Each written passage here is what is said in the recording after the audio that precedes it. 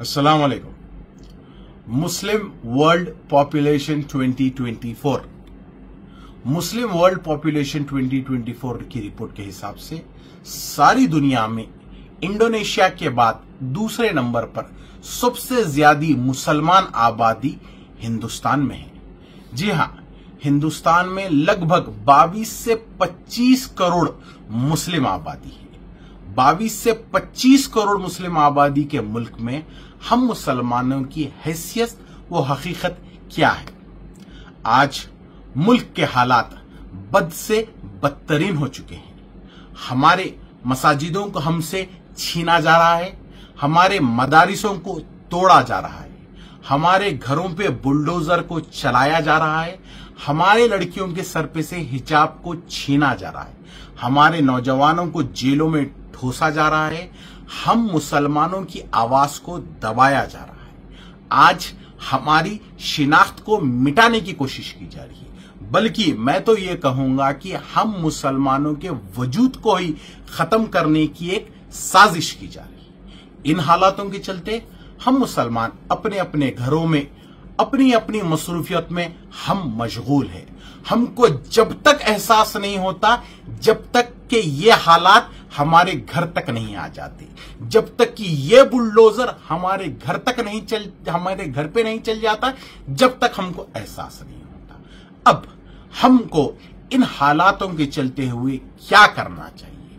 हमारी क्या ज़िम्मेदारी है? सुल्तान सलाउद्दीन अयूबी ने कहा कि अगर आप अपने हक को हासिल करना चाहते हो तो ताकतवर बनो। आज मुल्क में हमको अगर ताकतवर बनना है तो आपको और हमको एक सियासी ताकत बनने की ज़रूरत है। आज 25 करोड़ मुसलमानों की आबादी रहने वाले मुल्क में हमारी सियासी पहचान क्या है? हमारी सियासी पहचान नहीं के बराबर। हमारी कोई सियासी इतनी ताकत नहीं, हमारा कोई सियासी ऐसा स्ट्रांग रिप्रेजेंटेशन पार्लियामेंट में नहीं कि हम हमारे हक की लड़ाई लड़ सके। और हम मुसलमान यूपी के मुसलमान अखिलेश यादव को अपना लीडर मानते हैं। हम मुसलमान, बिहार के मुसलमान तेजस्वी यादव, लालू प्रसाद यादव को अपना लीडर मानते हैं। बंगाल के मुसलमान ममता बनर्जी को अपना लीडर मानते हैं, दिल्ली के मुसलमान केजरीवाल को अपना लीडर मानते हैं, और बाकी के मुसलमान राहुल गांधी कांग्रेस को अपना लीडर मानते हैं। हकीकत यह है, ये हमारे लीडर नहीं है। हमारे मदारिस, हमारे मसाजिद के मसलों पे ये कोई आवाज़ नहीं उठाते। ऐवान पार्लियामेंट में कभी भी मसाजिद या मदारिस के मसले पे इनमें से कोई भी लीडर ने कभी भी ऐवान पार्लियामेंट में आवाज़ नहीं और अगरचे की किसी ने मुसलमानों की हक की लड़ाई लड़ी है ऐवान पार्लियामेंट में तो वो आवाज़ सिर्फ़ एक आवाज़ रही है, वो है बैरिस्टर असदुद्दीन अवैसी। नरेंद्र मोदी में, नरेंद्र मोदी के आँखों में आँखें डालकर सवाल करने की हिम्मत अगर किसी में है तो वो है बैरिस्टर असदुद्दीन अवैसी। आज ऐवान पार्लियामेंट में जब बैरिस्टर असदुद्दीन अवैसी एक शेर की तरह दहाड़ते हैं तो पूरे बीजेपी वाले ढीले पड़ जाते हैं।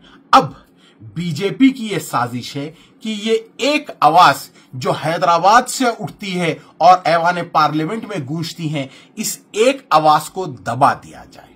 तो आने वाले इंतखाबात, पार्लियामानी इंतखाबात में बीजेपी एक मंसूबे बंद साजिश के तहत वो चाहती है कि हम ये हमारी हैदराबाद की सीट हार जाए।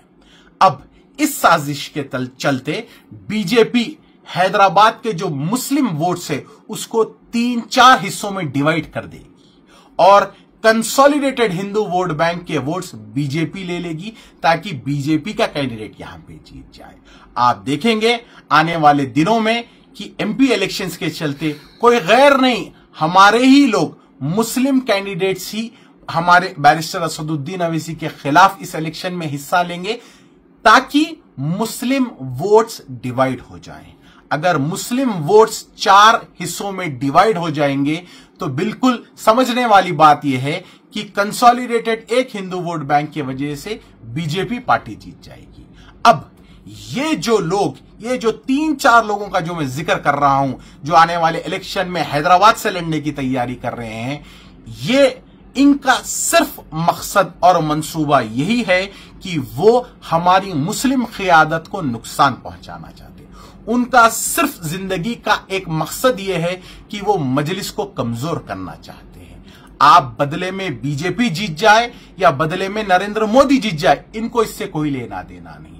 वो बल्कि इस बीजेपी की साजिश का हिस्सा है और उनकी मुहिम में उनका साथ दे रहे हैं। अब आपकी और हमारी ज़िम्मेदारी है कि हम इन गद्दारों को पहचाने, हम इन मुनाफिकों को पहचाने, जो कोई और नहीं, बल्कि हमारे ही सफों में से आप मुसलमानों की तारीख उठा के अगर देख लें तो टीपू सुल्तान को धोखा देने वाले कोई गैर नहीं मुसलमान ही। सलाउद्दीन लोधी को धोखा देने वाले कोई और नहीं, बल्कि मुसलमान।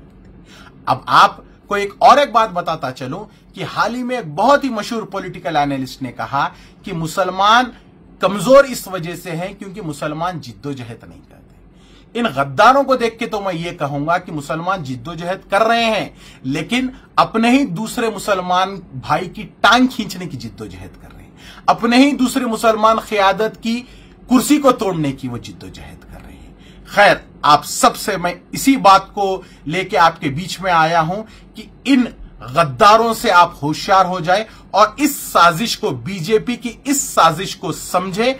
आपकी और हमारी एक आवाज़, एक लौती एक आवाज़ जो पार्लियामेंट में गूंजती है, उस एक लौती आवाज़ बैरिस्टर असदुद्दीन अवेसी को हैदराबाद एमपी पार्लियामेंट सीट पर हराने की साजिश की जा रही है। इस साजिश का हिस्सा आप ना बने और आपकी और हमारी क्यादत को मज़बूत करें। बहुत बहुत शुक्रिया वालेकुम।